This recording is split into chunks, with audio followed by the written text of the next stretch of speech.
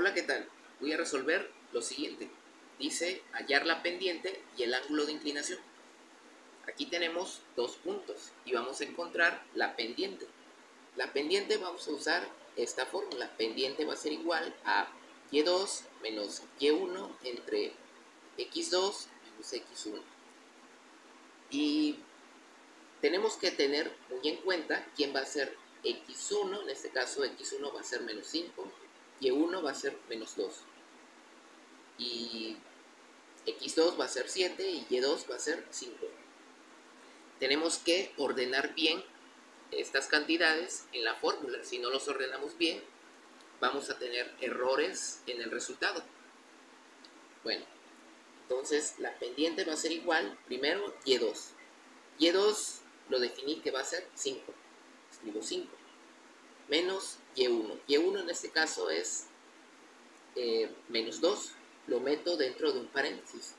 Entre, ajá, entre x2. x2 en este caso es 7. Menos x1. x1 en este caso es menos 5. Lo meto dentro de un paréntesis. Esto va a ser igual. Menos por menos más. Va a ser 5 más 2. Entre menos por menos más. En este caso va a ser 7 más 5. Arriba va a ser 5 más 2 son 7. 7 más 5 es 12. Y la pendiente es 7 doceavos. Ahora, para encontrar eh, el ángulo de inclinación, sabemos que la pendiente es igual a la tangente del ángulo de inclinación.